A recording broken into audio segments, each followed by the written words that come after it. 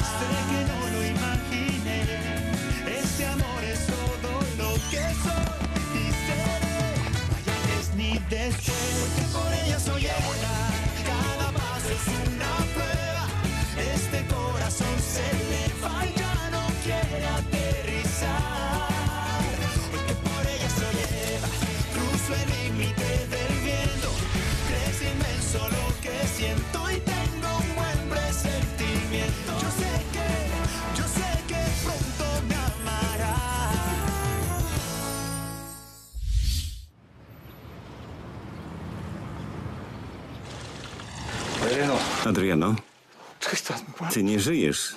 Nie mów mi tego. Modesto, uszczypnij mnie. Nie jestem martwy. Wiedziałaś o tym, Eleno?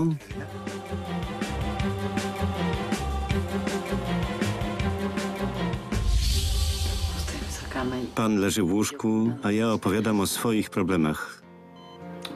I to pan mnie pocieszy. Przepraszam, musi pan wyzdrowieć. es usted. Podejdź bliżej. Elena, Możesz nie wierzyć, ale czuję się znacznie lepiej. Dostałem drugą, nie drugą, piątą szansę od życia. Na pewno panu lepiej? Lepiej niż kiedykolwiek. Ale udaję, że nie zdążę już wykorzystać mojego czasu. Poza sztuczką Juana Carlosa jest jeszcze wiele innych spraw, które zaprzątają mi głowę i wiele pytań bez no odpowiedzi. Podejrzewałem Plutarka od jakiegoś No czasu. Któregoś dnia Ewa, to znaczy Juan Carlos, poprosił, żebym zlecił zewnętrzny audyt bez wiedzy Plutarka. Nie wiedziałam. Podczas mojej nieobecności Plutarko zajął mój fotel i to odwołał. Ale nie wiedział, że wynająłem mecenasa Arenasa nie jako konsultanta, lecz do przeprowadzenia kontroli wszystkich wydziałów Grupo Imperium.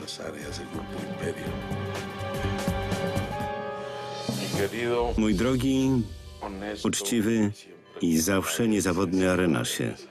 Ma pan wynik kontroli? Tak. Zamierzałem go panu pokazać po wyzdrowieniu. To nie jest dobra chwila. Przeciwnie, to najlepsza chwila na poznanie prawdy. To zbyt ryzykowne. Może się pan gorzej poczuć. No. Niech pan nie będzie fatalistą. Chcę poznać ten wynik. Tu są wszystkie szczegóły, ale to był bardzo żmudny proces.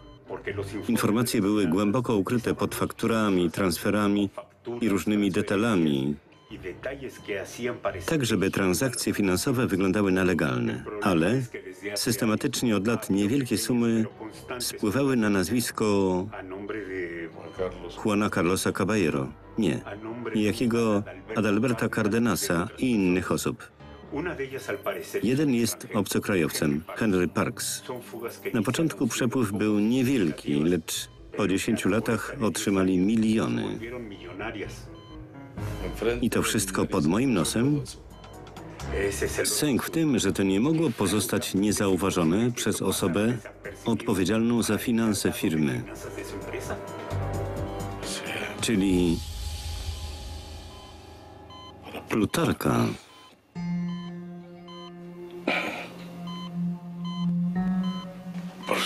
Poprosiłem Arenasa o zachowanie całkowitej dyskrecji. Dlatego nie powiedział ani słowa. A co z Fitzą? Lo que ya sabemos, Elena. Wiem z całą pewnością, że jesteś niewinna.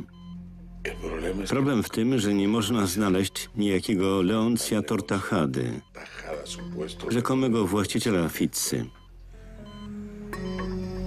Mogę sobie wyobrazić tylko najczarniejszy scenariusz. Może Juan Carlos mówił prawdę. Nie dopuścił się defraudacji. y. Może, ale to go nie rozgrzesza z oszukania nas. To, co zmusza mnie do zastanowienia się nad zmianą zdania, jest pytanie, po co Juan Carlos udawał przed wszystkimi, że jest Ewą? Czemu nie czekał na odpowiedni moment, żeby się pojawić? El momento en que se pudiera fugar. No sé. Nie wiem. Ja też tego nie rozumiem. Otóż uważam, że on cię szaleńczo kocha, bo tylko to mogło zmusić kogoś takiego jak Juan Carlos Caballero do przebrania się za kobietę i udawania jej przez taki długi czas. y luego mantenerse así. Nie wiem, czy zechcesz mi pomóc, no ale myślę o czymś, co może nas doprowadzić do ostatecznej prawdy. por todas. Y To również pokaże, jak daleko są w stanie posunąć się Plutarco i Juan Carlos. y. Co możemy zrobić? Odpłacimy im tą samą monetą. Pan Reyes nie przetrzymał operacji. Zmarł.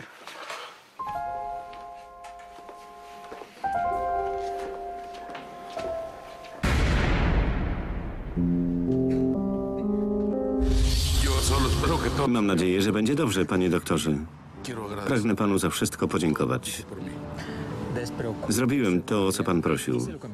Powiedziałem, że zażądał pan, aby nikt nie oglądał pana ciała, jeśli umrze pan na stole operacyjnym. Jestem panu niezmiernie wdzięczny. Nie robi pan tego dla kaprysu, dlatego postanowiłem pomóc. Oby wszystko udało się tak, jak pan planuje. Gracias.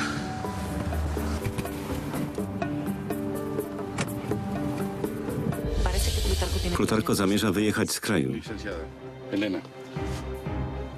On musi planować zrobienie czegoś z firmą, skoro zamierza się ulotnić. Będę go miała cały czas na oku.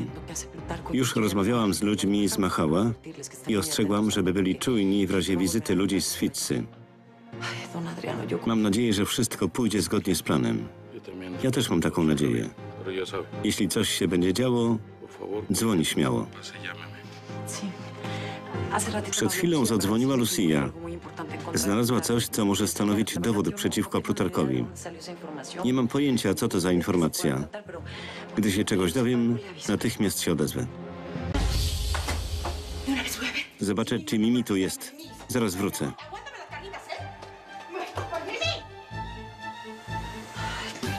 Wybacz, Lucy. Sí. Mówiła, że tutaj.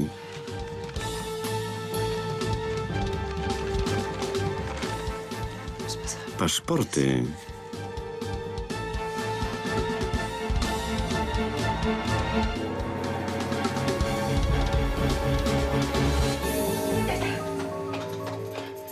Wszystko w porządku. Usiądź, bo osłabniesz.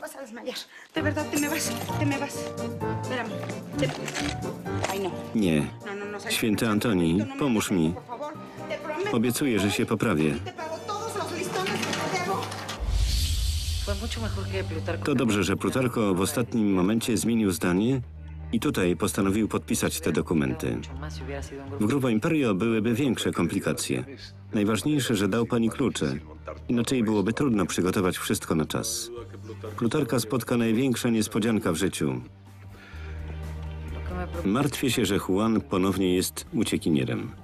Jeśli mnie szuka, pojedzie do mojego domu. I dobrze, bo musimy go trzymać z dala od tego wszystkiego. Wszystko będzie dobrze. I choć uważam, że to szaleństwo, dziękuję, że pani pomaga mojemu synowi.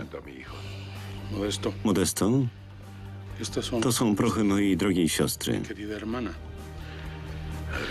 Adriano, Plutarko zaraz tu będzie. No, Nie dejar. pozwolę mu zatrzymać tego, co dla mnie jest święte. Dobrze? Nagrajmy to wideo. ¿Dónde quiere que Gdzie filmujemy?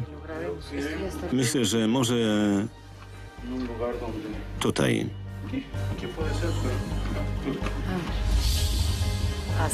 Tak to się wszystko stało. No, no, no ser. Jak mogłem być taki głupi i wpaść w pułapkę?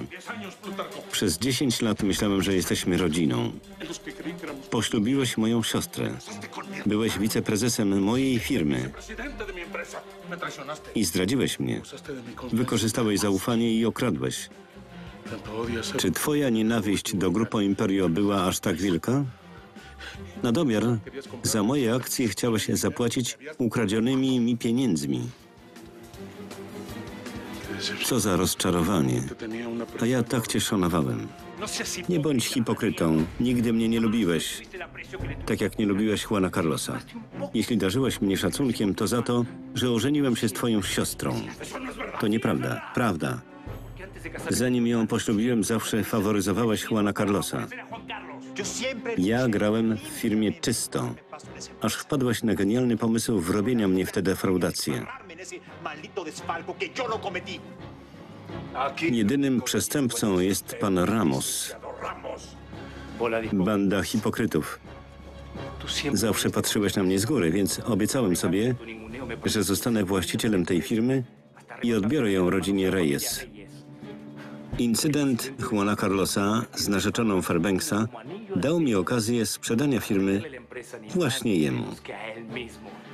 Nigdy do tego nie dojdzie. Za chwilę zjawi się tu policja. Czego szukasz? Tego? Nie ma w nim nabojów. Ale są w tym, kochanie.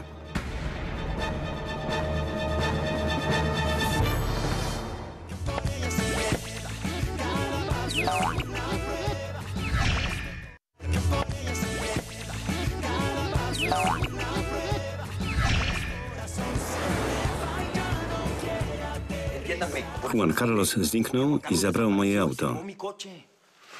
Nie trzeba być mądralą, żeby wiedzieć, gdzie jest. W domu Plutarka. Święty Czarbelu, potrzebujemy cię.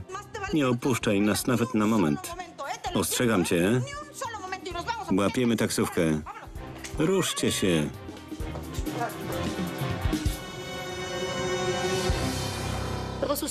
Odsuńcie się. Nie chcę was zranić. Co ten łajdak jej zrobił? Rebeka i Plutarko byli kochankami przez 10 lat. Zgadza się. Ja znalazłam to zero. Nauczyłam elegancji, posługiwania się sztućcami. Kiedy go poznałam, był zwykłym prostakiem z tłumu. Nic ci nie jestem dłużny. Nie? Powiedz im, jak cię wyszkoliłam, żebyś zdobył serce Antonii. No, powiedz prawdę. O czym mówi ta kobieta? Powiedz im, skarbie, na co czekasz? Ożeniłem się z Antonią, bo to był jedyny sposób na awans w firmie. Mów dalej o wszystkim. Przez lata próbowaliśmy się jej pozbyć, karmiąc tłuszczem i czekoladą. My? To był twój pomysł. To ty zabiłeś Antonię. Nikogo nie zabiłem. Przyczyniłeś się do tego. Kiedy Antonia wróciła do Mexico City, znalazłem ją nieprzytomną przed domem. Musiała was wtedy przyłapać. Plutarko ją zdenerwował. Gonił po całym domu, aż padła jak kawka. Istnieje nagranie wideo z naszych spotkań zarządu. Kiedy zobaczyli nas nagich, nie wyobraża pan sobie, jaki skandal wybuchł w całej branży turystycznej. Ty dziwko, milcz. Jak mogłeś to zrobić Antoni? Ona cię uwielbiała. Byłeś jej całym życiem. Jesteś ściekiem. Jesteś mordercą.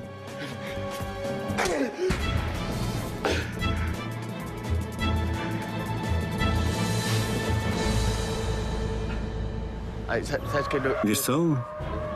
Hablo. Później pogadamy.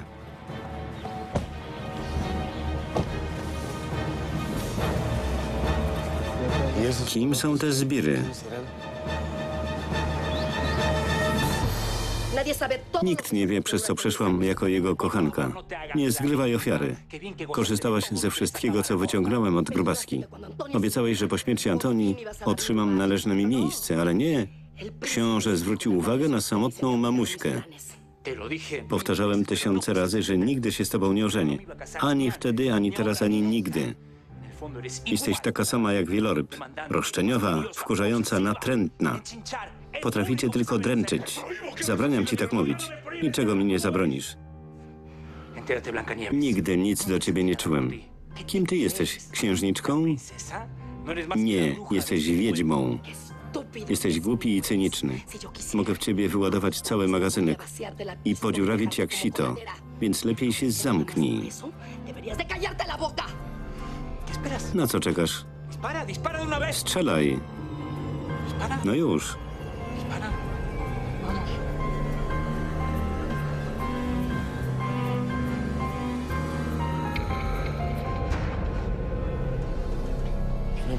Ci goście nie wyglądają na oprychów. W takim wanie? No. Nie, jednak są. Co robić? Stać. I na kogo wyglądam? Na Spidermana. Obiecywałeś tysiące razy, że mnie poślubisz. Ja tylko chciałam być panią Ramos Arrieta. Przestań powtarzać te same bzdury. Mam dość. Nie ruszać się, bo ją zabiję. Zostańcie na miejscach. Przysięgam, że ją zabiję. Nie zrobicie tego, co zamierzaliście. Nie oszukacie mnie. Widziałem co? Jak rabujecie ten pensjonat. Znam jego właścicielkę, nazywa się De La Rosa. Jest świetną babką. Zatrzymajcie tych złodziei. I nie dziękujcie mi. Potraktujcie to jako dobry uczynek kogo? Anonimowego bohatera. To rzadkość w dzisiejszych czasach. Co tu się dzieje? Co to za zamieszanie? Panowie oficerowie, zaszła pomyłka. Ci silni panowie nie mają lepkich palców. Jestem właścicielką tego domu i posłałam ich po moje rzeczy. Mimi, Fernando. Jak miło cię widzieć. Puść ją, Plutarko. Zamknij się, albo ją zabiję. Prędzej czy później cię złapią. Zostaw ją, proszę. Nigdy mnie nie złapią. Jeśli ten debil potrafił tak długo się ukrywać, ja tym bardziej mogę. Zostaw ją i weź mnie. Jasne. Ani drgnij.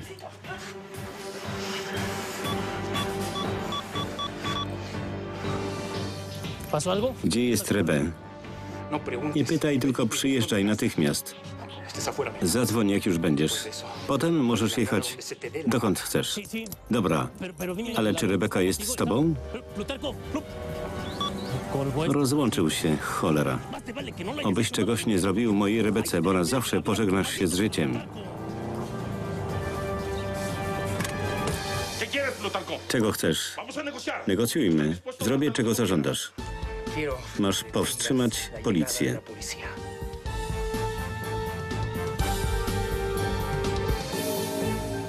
Dziękuję, chłopcy. Zaraz wejdę do auta. Muchachones, Duzi ci chłopcy w garniturach. Od kiedy to się o mnie martwisz? Zaginęłam dwa dni temu i się nie pojawiłeś. Jesteś wolny. Y ustedes ni sus luces, qué bárbaros, se pasan de lentos de veras. Nie bądź jędzą. Mamy tyle problemów. No Nawet nie wiesz, co się stało. Chyba wiem. Cały ten bałagan zaczyna się właśnie wyjaśniać, co? No, cualquier Zależy o jakim bałaganie mówisz. ¿eh? No, Założę się, że o tym nie no wiesz. Puśćcie mnie, dranie. Tchórze, łobuzy. Napadają na biedną kobietę. Puśćcie ją. Teraz ja się nią zajmę. Święta Dziewico, Matko Boża, ja chyba śnię.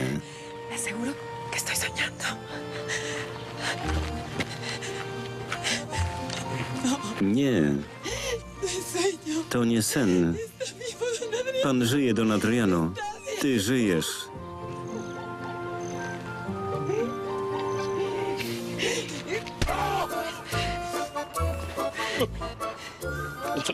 Za co to? Za przestraszenie mnie na śmierć. Myślałam, że pan nie żyje. Typowy macho. A ty to co? ¿verdad? Oszukałaś mnie, ukrywając najbardziej świętą rzecz w życiu. Moje dziecko. No To nie daje panu prawa się ze mnie nabijać. Przyznaj, że mnie oszukałaś. Kobietą, która podarowała mi najlepszą noc w życiu, byłaś ty. Y. Powiedz, że będziemy mieli wielkie, zdrowe dziecko z północy, jakiego mama. I piękne, jakiego tata.